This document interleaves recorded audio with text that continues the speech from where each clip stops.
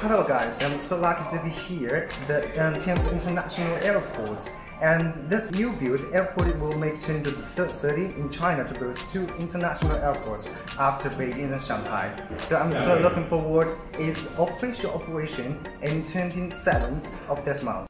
One, two, one, two, three, four.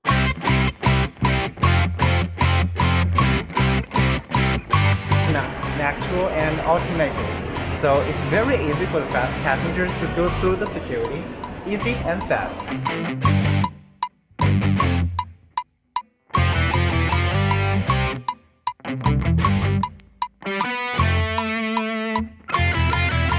Not only outside the machine you can do with the um, self check-in, but also here you can do the self-service baggage drop with this um, big giant machine. So um, for example, this is my package. You can just put it here, and with here you just enter, and with the screen all the English you can choose or Chinese.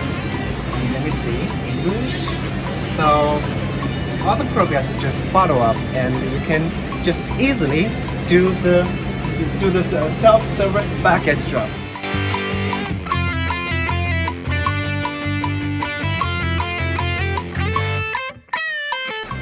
Yes, I just finished the um, security check and it only takes me like less than 5 minutes.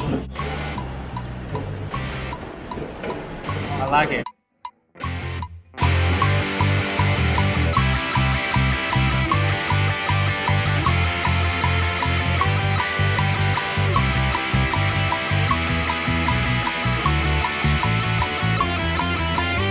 Wow, it's.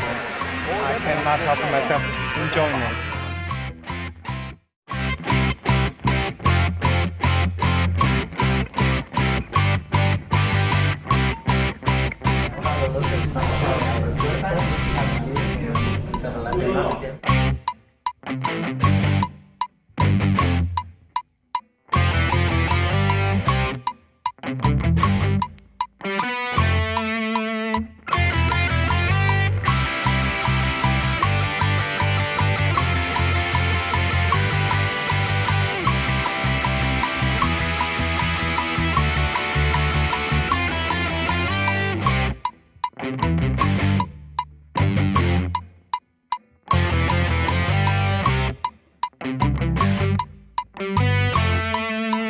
Outside the Tianfu International Airport, you can see there's a giant panda here.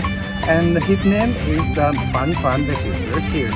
So you know that Sichuan and also Chengdu is very famous for the big um, gi giant panda. So here we have this LD panda, especially for the night show.